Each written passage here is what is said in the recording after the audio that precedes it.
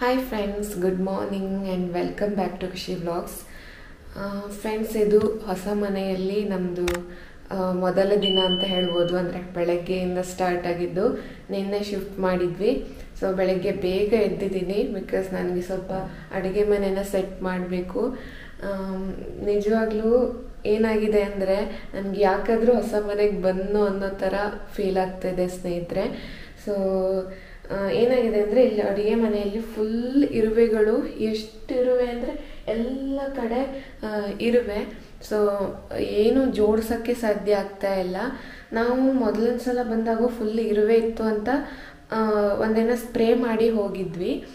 ಆನಂತರ clean ಮಾಡಿಸಿದ್ದೀವಿ so clean ಮಾಡಿಸಿದ ತಕ್ಷಣ ಎಲ್ಲ ಹೋಗುತ್ತೆ, ಏನು ಸಮಸ್ಯೆ ಇರಲ್ಲ ಅಂತ ಅಂದ್ಕೊಂಡಿದ್ವಿ ಬಟ್ ಇರುವೆ ನಾವು ಇಲ್ಲಿ ತಂದು ಸ್ವಲ್ಪ ಎಲ್ಲ ಸಾಮಾನುಗಳನ್ನೆಲ್ಲ ಇಟ್ವಲ್ಲ ಎಲ್ಲದಕ್ಕೂ ಹತ್ಕೊಂಡಿದೆ.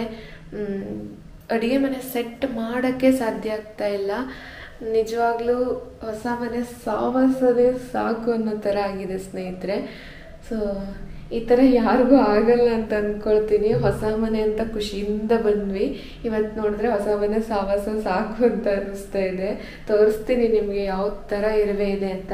ರಾತ್ರಿ ಒಮ್ಮೆ ಎಲ್ಲ ಸ್ಪ್ರೇ ಮಾಡಿ ಅದನ್ನೆಲ್ಲ, ಆ ಕಡೆ ಸಾಯಿಸಿ, ಏನು ಸಾಯಿಸ್ಲೇಬೇಕು, ಏನು ಮಾಡೋಕ್ಕಾಗಲ್ಲ. ಸೊ ಒಂದು ಗುಡ್ಡೆ ಹಾಕಿ ಇಟ್ಟಿದ್ದೀವಿ. ಬೆಳಗ್ಗೆ ಬಂದು ನೋಡ್ತಾ ಇದ್ದೀನಿ. ಮತ್ತೆ ಫುಲ್ ಬಂದಿದೆ. ಸೊ ನಿನ್ನೆ ರಾತ್ರಿನೇ ನಾವು ಓನರ್ಗೆ ಇನ್ಫಾರ್ಮ್ ಮಾಡಿದ್ದೀವಿ.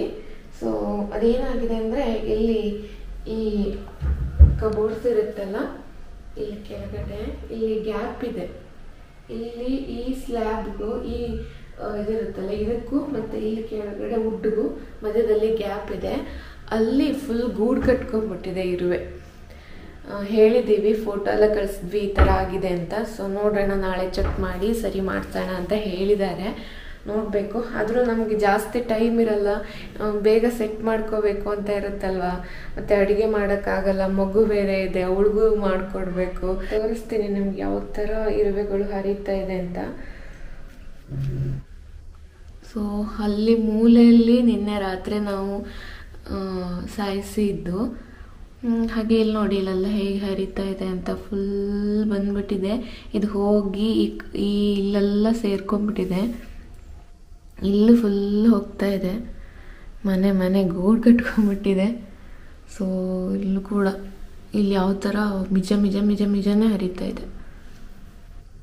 ಸಿಕ್ ಫ್ರೆಂಡ್ಸ್ ಫಸ್ಟು ಪಾಪಗೆ ತಿಂಡಿಗೆ ಮಾಡಿಕೊಡ್ಬೇಕು. ಅವಾಗಿಂದ ಕ್ಲೀನ್ ಮಾಡಿ ಒಂದು ಹಂತಕ್ಕೆ ರೆಡಿ ಮಾಡಿ ಇಟ್ಕೊಂಡಿದ್ದೀನಿ ನಮಗೆ ಊಟ ತಿಂಡಿ ಲೇಟ್ ಆದರೂ ಪರವಾಗಿಲ್ಲ. ಪಾಪಗೆ ಏನು ಮಾಡೋದು? ಒಂದೊಂದ್ಸಲ ಬೇಜಾರಾಗುತ್ತೆ. ಸೊ ಹಾಗಾಗಿ ಮೊದಲು ಪಾಪಗೆ ತಿಂಡಿ ಮಾಡಿಕೊಟ್ಟು, ಆಮೇಲೆ ನಾವು ತಿಂಡಿ ಮಾಡೋದ ಬಿಡೋದ ನೋಡಬೇಕು. ಆಮೇಲೆ ಕ್ಲೀನ್ ಮಾಡಿಸ್ಬೇಕು. ಫ್ರೆಂಡ್ಸ್ ಇನ್ನೂ ತಿಂಡಿ ತಿಂದಾಗಿಲ್ಲ. ದೋಸೆ ತರಿಸಿದ್ದೀವಿ ಸೊ ಹೊರಗಿನ ಫುಡ್ಡೇ ಆಯಿತು. ಏನು ಸೆಟ್ ಆಗ್ತಾ ಇಲ್ಲ ಅಡುಗೆ ಮಾಡೋದಿಕ್ಕಲ್ಲ ಹಾಗಾಗಿ. ಮತ್ತು ಬಾಲ್ಕನಿಯಲ್ಲಿ ಇವಾಗ ಬಟ್ಟೆ ಒಣಗಿ ಹಾಕೋದಕ್ಕೆ ವ್ಯವಸ್ಥೆ ಮಾಡ್ಕೊಳ್ತಾ ಇದ್ದೀವಿ. ಬಟ್ಟೆ ಅಂತೂ ವಾಶ್ ಮಾಡಲೇಬೇಕು. ಮತ್ತು ಹಾಗಾಗಿ ನಾನು ನೋಡಿ ಯಾರೇನು ಹೇಳ್ಬೇಡಿ ಫುಲ್ ಒಂಥರ ಕೂದಲೆಲ್ಲ ಫುಲ್ ಹರಡ್ಕೊಂಡಿದೆ ಫ್ರೆಂಡ್ಸ್ ಇವಾಗ ಸಂಜೆ ಆಗಿದೆ. ಸಂಜೆ ಅಡುಗೆ ಮಾಡ್ತಾ ಇದ್ದೀನಿ. ಇದು ಹೊಸ ಮನೆಯಲ್ಲಿ ಮೊದಲ ಅಡುಗೆ ನಂದು. ಸೊ ಇದುವರೆಗೂ ಅಡುಗೆ ಮಾಡೋಕ್ಕಾಗಿರ್ಲಿಲ್ಲ. ಸಂಜೆ ಟೈಮ್ಗೆ ಇವಾಗ ಪಲಾವ್ ಮಾಡ್ತಾ ಇದ್ದೀನಿ. ಸೊ ಡಯೆಟು ಅದೆಲ್ಲ ಏನೂ ಇಲ್ಲ. ಮನೆ ಸೆಟ್ ಆಗಬೇಕು ಮೊದಲು ಅಷ್ಟೇ ಯೋಚನೆ ಮಾಡ್ತಾ ಇದ್ದೀನಿ. ಮತ್ತೆ ಹೋಮ್ ಮೇಡ್ ನಾವು ಮಾಡಿರೋ ಊಟ ತಿನ್ನಬೇಕು ಅಂತ ತುಂಬಾ ಅನಿಸ್ತಾ ಇತ್ತು. ನಿನ್ನೆಯಿಂದ ಬರೀ ಹೊರಗಡೆಯಿಂದ ತಂದಿರೋ ಊಟನೇ ತಿಂತಾ ಇರೋದು. ಸೊ ಪಾಪಗೊಂದು ಅಡ್ಜಸ್ಟ್ ಮಾಡಿಕೊಂಡು ಮಾಡ್ಕೊಡ್ತಾ ಇದ್ದೆ. ಹಾಗಾಗಿ ಇವಾಗ ಪಲಾವ್ ಮಾಡಬೇಕು. ಆನಂತರ ಮುಖ್ಯವಾದ ಕೆಲಸ ಏನು ಅಂದರೆ ಇದನ್ನೆಲ್ಲ ಮತ್ತೆ ತೆಗೆದು ಆ ಕಡೆ ಇಡಬೇಕು. ಇಲ್ಲಿ ಆಂಟ್ಗೆ ಈ ಇರುವೆಗೆ ಸ್ಪ್ರೇ ಮಾಡೋರು ಬರ್ತಾರೆ. ಅದು ಕೂಡ ಯಾವ್ದ್ರಲ್ಲಿ ಬುಕ್ ಮಾಡಿದ್ದು? ಅರ್ಬನ್ ಕ್ಲಾಬ್ ಅಲ್ಲೇ ಬುಕ್ ಮಾಡಿದೀವಿ. ಅವ್ರು ಬಂದು ಇಲ್ಲೆಲ್ಲ ಒಳಗಡೆ ಸ್ಪ್ರೇ ಮಾಡ್ತಾರಂತೆ. ಸೊ ನಂತರ ಇಲ್ಲಿ ಸ್ವಲ್ಪ ಗ್ಯಾಪ್ ಇದ್ದದನ್ನ ನಾಳೆ ಬಂದು ಬೇರೆಯವ್ರು ಯಾರು ಬಂದು ಕ್ಲೋಸ್ ಮಾಡ್ಕೊಡ್ತೀವಿ ಅಂತ ಹೇಳಿದ್ದಾರೆ. ಸೊ ಇಷ್ಟು ಕೆಲಸ ಇದೆ. ಹಾಗಾಗಿ ಬೇಗ ಬೇಗ ಇವಾಗ pulao ಮಾಡ್ಕೊಂಡ್ಬಿಡ್ತೀನಿ.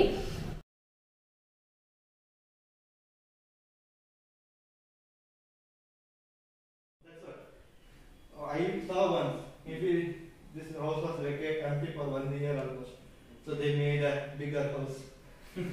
so once we move in, so yesterday we, we saw a lot of ants then we started looking into where are the where is the problem.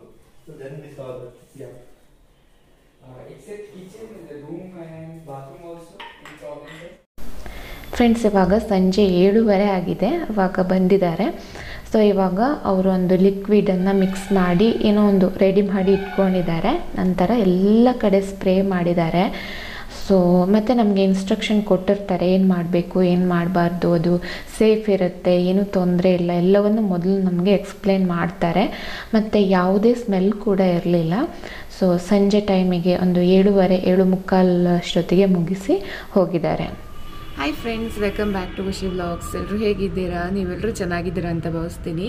ಹಾಗೆ ಇವತ್ತು ಹೊಸ ಮನೆಯಲ್ಲಿ ಮೂರನೇ ದಿನ, ಮತ್ತು ನಿನ್ನೆ ಸಂಜೆ ಹೇಳಿದ್ನಲ್ಲ ಇರುವೆಗಳಿಗೆ ಸ್ಪ್ರೇ ಮಾಡೋಕ್ಕೆ ಬರ್ತಾರೆ ಅಂತ ನೀವು ನೋಡಿದ್ರಿ ಅಂತ ಅಂದ್ಕೊಳ್ತೀನಿ ಸ್ಪ್ರೇ ಮಾಡಿ ಹೋಗಿದ್ದಾರೆ. ಇವತ್ತು ಒಂದಿನ ಅಂದರೆ ಇವತ್ತು ಮಧ್ಯಾಹ್ನದವರೆಗೆ ನಾವು ಅದನ್ನು ಉಪಯೋಗಿಸೋ ಹಾಗಿಲ್ಲ. ಅವ್ರು ಹೇಳೋ ಪ್ರಕಾರ ರಾತ್ರಿ ಒಂದು ಓವರ್ ನೈಟ್ ಬಿಟ್ಟರೆ ಸಾಕು. ಬೆಳಗ್ಗೆಯಿಂದ ನೀವು ಸ್ವಲ್ಪ ಕೌಂಟರ್ ಟಾಪನ್ನು ಕ್ಲೀನ್ ಮಾಡಿಕೊಂಡು ಯೂಸ್ ಮಾಡ್ಬೋದು. ಅದೇನು ಜಾಸ್ತಿ ಹಾರ್ಮ್ ಆಗೋ ಥರ ಕೆಮಿಕಲ್ ಇರೋದಿಲ್ಲ. ಅದನ್ನು ನೀರು ಹಾಕಲ್ಲ, ಉಜ್ಜಿ ತೆಗಿಬಾರ್ದು. ಜಸ್ಟ್ ಡ್ರೈ ಕ್ಲಾತಲ್ಲಿ ಒರೆಸಿದ್ರೆ ಸಾಕು. ಕೌಂಟರ್ ಟಾಪ್ ಮೇಲ್ಗಡೆ ಬೇಕಾದರೆ ಚೆನ್ನಾಗಿ ನೀರು ಹಾಕಿ ಒರೆಸ್ಕೊಳ್ಳಿ ಅಂತ ಹೇಳಿದ್ದಾರೆ. ಬಟ್ ಅದೇನಾಗಿದೆ? ಗ್ಯಾಪ್ ಇದೆಯಲ್ವಾ? ಆ ಗ್ಯಾಪ್ಗೆ ಇವತ್ತು ಫಿಲ್ ಮಾಡೋದಕ್ಕೆ ಕಾರ್ಪೆಂಟರ್ ಬರ್ತಾ ಇದ್ದಾರೆ. ಅಥವಾ ಯಾರೋ ಕೆಲಸದವ್ರು ಕಳಿಸ್ಕೊಡ್ತಾ ಇದ್ದಾರೆ ಓನರು ಸೊ ಅದು ಮುಗಿಬೇಕು. ಹಾಗಾಗಿ, ಒಂದು ನಿಮಿಷ.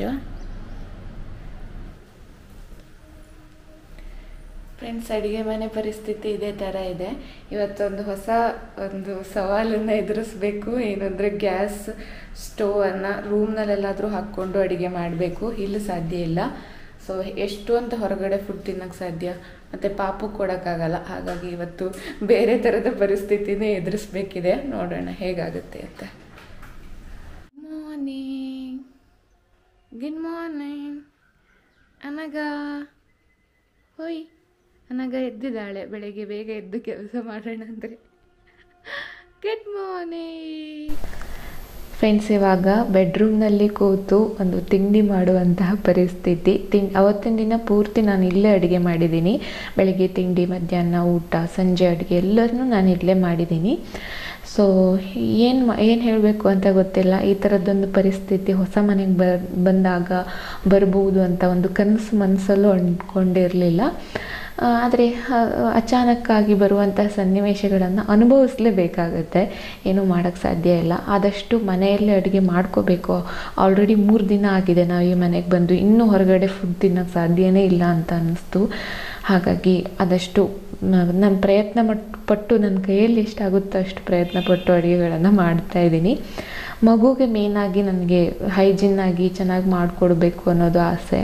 ಬಟ್ ಅವಳು ತಿಂತಾ ಇರಲಿಲ್ಲ, ಯಾಕೋ ಗೊತ್ತಿಲ್ಲ. ಅವಳಿಗೂ ಬೇರೆ ಜಾಗ ಅಲ್ವಾ? ಹಾಗಾಗಿ ನಾವಿವಾಗ ಅವಲಕ್ಕಿ ತಿಂತಾ ಇದ್ದೀವಿ ಫ್ರೆಂಡ್ಸ್ ಇವಾಗ ಮೂರು ಮುಕ್ಕಾಲಾಯಿತು. ಸೊ ಮಧ್ಯಾಹ್ನ ಊಟ ಮುಗಿಸಿದ್ದಾಯಿತು. ಇವತ್ತು ಅನ್ನ, ಮೊಸರು, ಭಾರಿ ಭೋಜನ ಅಂತ ಹೇಳ್ಬೋದು. ಅಷ್ಟೇ, ಮತ್ತೇನು ಮಾಡಲಿಲ್ಲ. ಹಾಗೆ ಈವಾಗ ಕಿಚನ್ ರಿಪೇರಿ ಮಾಡೋರು ಬಂದಿದ್ದಾರೆ. ಸೊ ಅದೊಂದು ಕೆಲಸ ಮುಗಿದ್ರೆ ದೊಡ್ಡ ಕೆಲಸ ಮುಗಿದಾಗೆ ಕಾಣಿಸ್ತದೆ. ಫ್ರೆಂಡ್ಸ್ ಇವಾಗ ಇಲ್ಲಿ ನಾನು ಹೇಳಿದ್ನಲ್ಲ, ಅಲ್ಲಿ ಗ್ಯಾಪ್ ಇದೆ ಅಂತ. ಅಲ್ಲಿ ವುಡ್ ಹಾಕಿ ಮತ್ತು ಸಿಲಿಕಾನ್ ಅಂತ ಸಿಗುತ್ತೆ, ಅದನ್ನು ಹಾಕಿ ಪೂರ್ತಿಯಾಗಿ ಸೀಲ್ ಮಾಡ್ತಾ ಇದ್ದಾರೆ. ಚೆನ್ನಾಗಿ ಸೀಲ್ ಮಾಡಿದ್ದಾರೆ ಕೂಡ. ಸೊ ಈ ಥರದ್ದೊಂದು ಸಂದಿಗ್ಧ ಪರಿಸ್ಥಿತಿ, ಈ ಥರದ್ದೊಂದು ಏನು ಹೇಳಬೇಕು ಗೊತ್ತಿಲ್ಲ, ವಿಚಿತ್ರವಾದಂತಹ ಪರಿಸ್ಥಿತಿ ನಮಗೆ ಬಂದಿತ್ತು. ನಾನು ಹೇಳಿದ್ದೆ ನಾವು ತುಂಬ ಸ್ಟ್ರಗಲ್ ಮಾಡ್ತಾ ಇದ್ದೀವಿ ಅಂತ ಇದೇ ವಿಷಯಕ್ಕೆ ಆಗಿತ್ತು. ನನಗೆ ಆ, ದಿನಗಳನ್ನು ನೆನೆಸ್ಕೊಂಡ್ರೆ ಇವಾಗಲೂ ಕೂಡ ಭಯ ಆಗುತ್ತೆ. ಬಟ್ ಸದ್ಯಕ್ಕೆ ಎಲ್ಲವೂ ಕೂಡ ಸೆಟ್ ಆಗಿದೆ ಸ್ನೇಹಿತರೆ. ನೆಕ್ಸ್ಟ್ ಬ್ಲಾಗಲ್ಲಿ ನಾನು ನಮ್ಮ ಮನೆ ಹೇಗೆ ಸೆಟ್ ಮಾಡ್ಕೊಂಡಿದ್ದೀವಿ ಅನ್ನೋದನ್ನು ಶೇರ್ ಮಾಡ್ತೀನಿ. ಇದು ಸುಮಾರು ಮೂರು ದಿನ ನಾನು ಬ್ಲಾಗ್ ಮಾಡಿದ್ದೆ. ಬಟ್ ನಾನು ಬ್ಲಾಗು ದಿನ ದಿನ ಹಾಕೋದಿಲ್ಲ ನಿಮಗೆ ಗೊತ್ತು. ಸ್ವಲ್ಪ ತಡವಾಗಿ ನಿಮ್ಮ ಜೊತೆ ಶೇರ್ ಮಾಡ್ತಾ ಇದ್ದೀನಿ. ಫ್ರೆಂಡ್ಸ್ ಇವಾಗ ನನ್ನ ಕಿಚನ್ ರೆಡಿ ಆಯಿತು. ಸೊ ಕುಣಿಬೇಕು ಅಂತ ಅನ್ನಿಸ್ತಾ ಇದೆ ನನಗೆ ಖುಷಿಯಲ್ಲಿ. ಸೊ ಫೈನಲಿ ಕಿಚನ್ ಸರಿ ಇಲ್ಲ ಅಂದರೆ ನಿಜವಾಗ್ಲೂ ಮನಸ್ಸಿಗೆ ನೆಮ್ಮದಿನೇ ಇರೋದಿಲ್ಲ. ಅದರಲ್ಲೂ ಕ್ಲೀನ್ ಇರಲಿಲ್ಲ.